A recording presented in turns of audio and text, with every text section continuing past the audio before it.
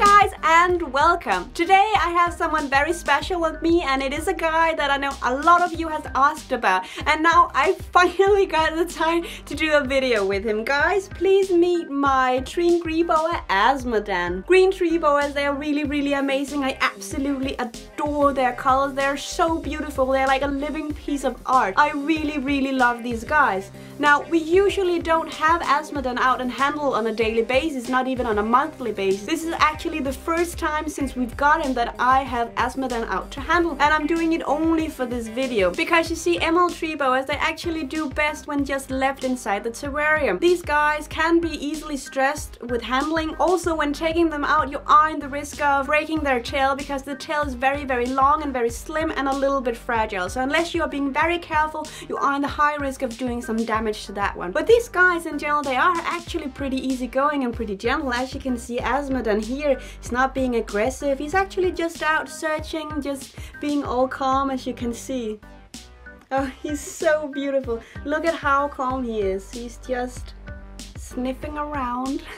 Tree boas here, they are arboreal, which means that unlike the ball python, they don't live on the ground, they actually do prefer to live higher up, which is also why that in his terrarium, the whole bunch the whole bottom of the terrarium is actually covered in, in this sphagnum moss thing also to keep the humidity high and he really does prefer to stay on his branches as you can see. Usually during the day he will hang in this S position which is a classical emerald tree boa position to hang in. You will also see that one in the wild too. They will hang like this throughout the entire day and when the night comes they will simply ambush whichever animal is uh, crossing their path. Azmodan here also he does prefer to eat at night. Basically when the night comes and it's dark, we can see him. He's moved from one side of the terrarium to the other where he's just ready in a strike position. And as soon as I open the terrarium, he's just ready. As you can see, he has a fast and perfect strike. When talking about the like the temperatures and humidity, they really do need a high temperature and a high amount of humidity. This guy, in the basking spot, they need something like 32 degrees and the humidity needs to be between 65 75 so that's quite a high amount which is also why that that beside the sphagnum that we also mist his terrarium at least twice a day, once in the morning and once in the night. And if I'm home during the day, I will give him a quick shower as well. And we also every day, of course, as we do with all the other snake, we check to see if he has enough water available. Emerald tree boas, they are natural, very, very slender, as you can see with this guy as well, which is why that they are very prone to being overfed by owners because they think that they look too skinny. But they are actually very, very slim in their build, you know, like a California king snake versus a ball python where the ball python has this heavy big body. Emerald tree boa really does need to have this slim, beautiful look to them. As I talked about before, these guys, they are pretty, pretty easy going and they're not known for being massively aggressive or defensive when you're having them out. They do prefer to stay in the terrarium because they are more easily stressed when out and being handled, which is something that you should really consider if you are thinking about maybe having them as a pet. I would not say that it's a perfect beginner snake, it's not,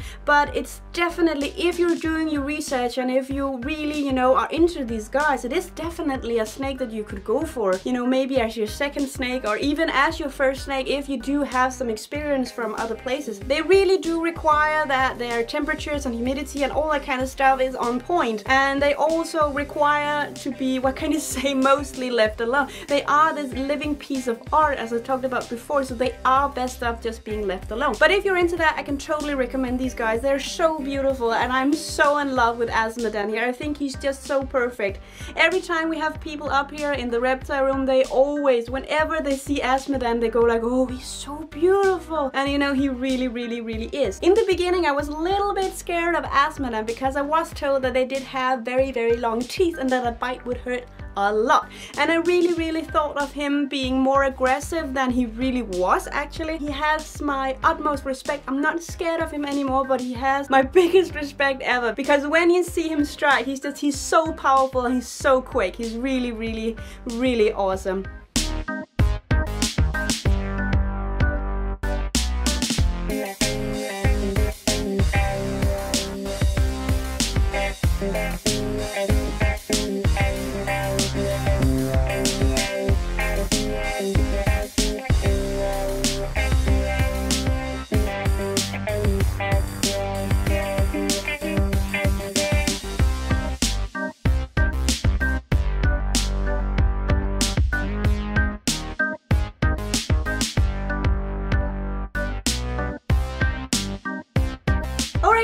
that's all for today. If you have any comments or question or would like to see more of Azmodan, just put it right down in the comment section. I would absolutely love to hear. Please give the video a like so I know that you like what I make. It really does mean a lot to me. And also while you're at it, just hit subscribe on that channel. Do remember we have a Facebook group now. If you haven't joined us yet, please come and do. There are so many amazing people in there. As usual, you can find me on Instagram under the name Jossers Jungle. Thank you guys for now and bye bye!